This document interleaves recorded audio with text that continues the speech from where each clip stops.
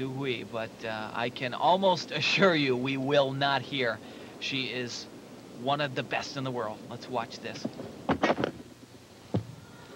Laid out Yurchenko with a full twist. Now that's interesting. She usually does that vault with two twists. Opts to only do one right there.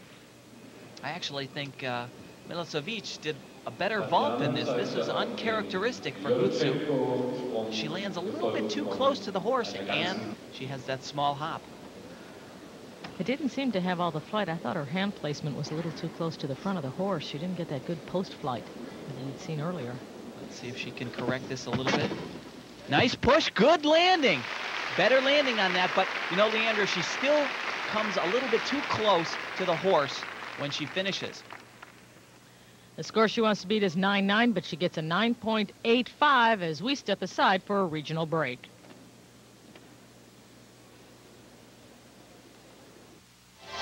Now for the